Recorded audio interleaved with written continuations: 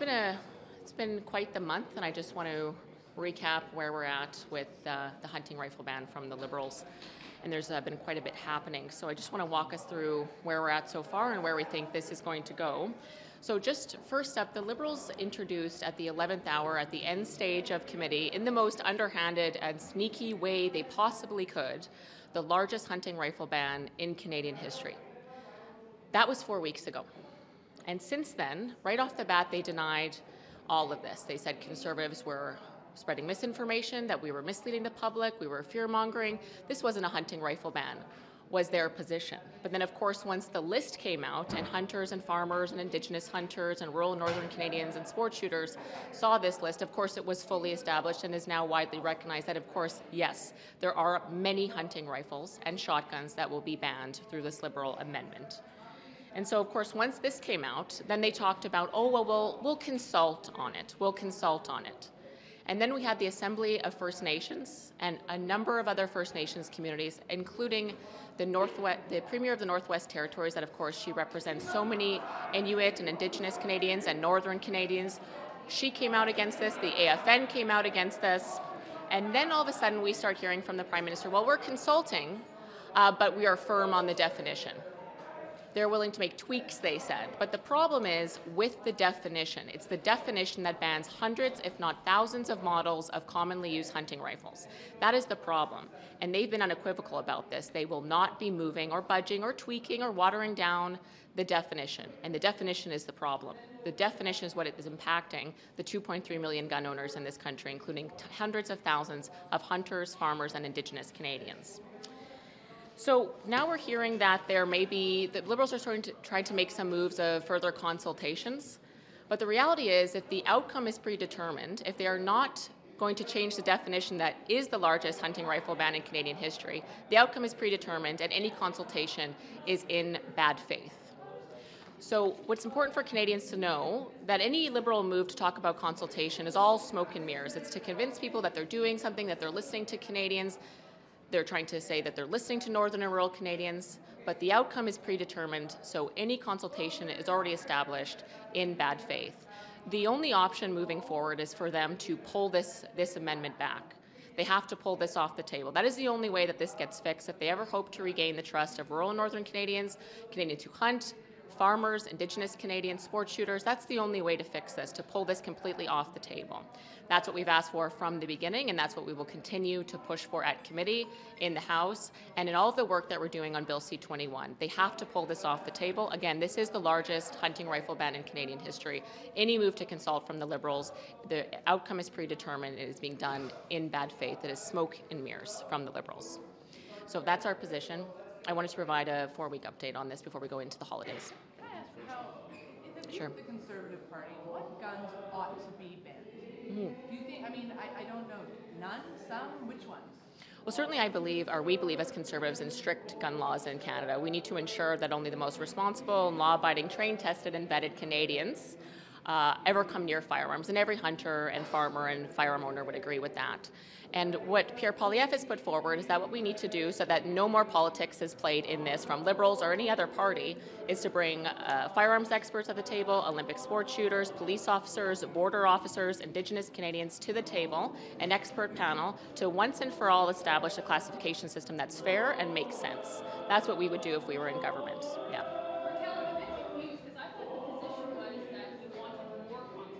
the position now we don't, the government shouldn't do consultation? So what it is is that first off, we want it to be polled. But the bloc working with the Liberals at committee forced, we're, we're, we're going to force, pardon me, two meetings. Two meetings at committee. Two meetings is a joke. To, to say that we can appropriately consult all the Canadians impacted by this in two meetings is offensive.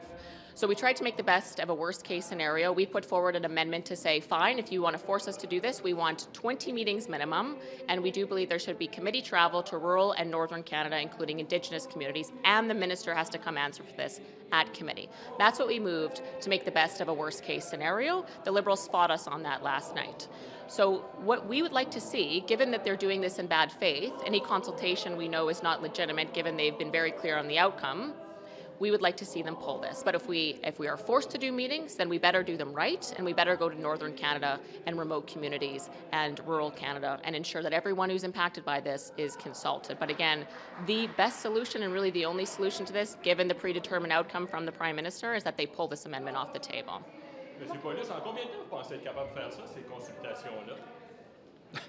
Merci, bonne question. La musique vient d'arrêter de l'autre côté, parce qu'on voit qu'il y a des merci, on voit qu'il y a des, des libéraux qui aiment mieux s'amuser que de parler de choses sérieuses aujourd'hui. Euh, Premièrement, il faut rappeler l'histoire courte. Là, on fait un rappel que la- l'amendement qui a été déposé au Comité de la sécurité publique il y a quatre semaines de façon très insidieuse, la, la- la plus grande interdiction d'armes de chasse dans l'histoire du Canada.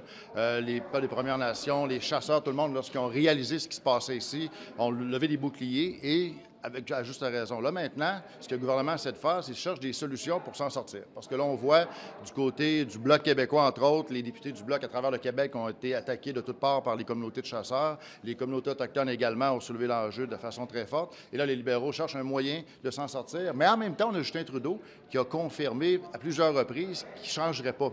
Donc, c'est juste les libéraux, ce qu'ils veulent faire actuellement, c'est d'étirer le temps. Donc, si on parle de plusieurs semaines, plusieurs mois, à la fin, le résultat va être le même parce que Justin Trudeau l'a confirmé. d'ici l'été, mettons, euh, trois mois, quatre mois, cinq Nous, ce qu'on demande tout simplement, c'est que l'amendement, que, l'amendement soit retiré tout simplement, là, parce que c'est complètement une, une opération de chambre que les libéraux essaient de faire. Vous proposez quand même quelque chose, un processus de consultation. Ben, nous, de notre côté- Oui, mais d'un autre côté, ce qu'on propose, c'est que le gouvernement Poiliev, le gouvernement conservateur, ce qu'on ferait premièrement, on dépolitiserait l'enjeu des armes à feu. On, on aurait des comités d'experts qui, qui- concernent des groupes de policiers, des groupes de victimes, les autochtones. Tout le monde serait ensemble pour définir c'est quoi la sécurité publique avec les armes à feu Canada. Et parce que quand on parle d'armes, c'est tellement technique à un moment donné. Et lorsque la politique intervient, on, ça tire partout, puis euh, mauvais jeu de mots, mais c'est un jeu de mots. Ça tire à gauche, à droite, et puis euh, on se ramasse avec des situations comme on veut aujourd'hui. Mais là, ce qu'on voit, c'est que les libéraux, le Bloc québécois sont ramassés dans une position vraiment de faiblesse face à la communauté des chasseurs et spécialement les Autochtones à travers le pays.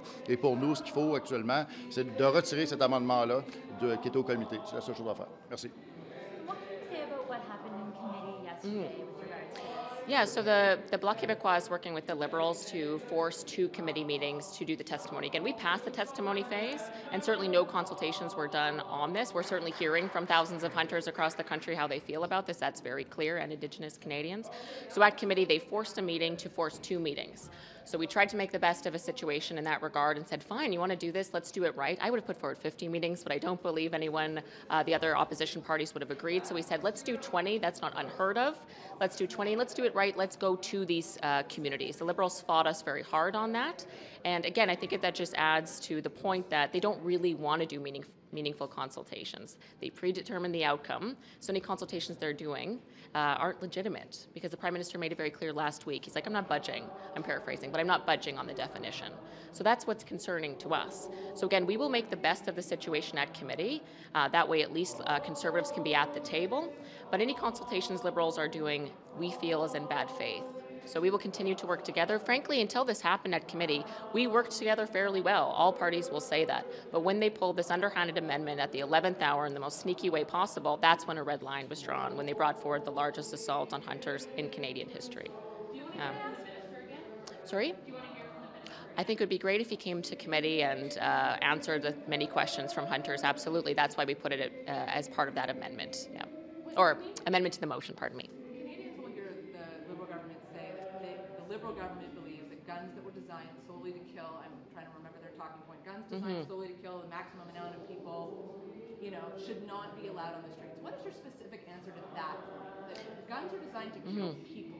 Why should they be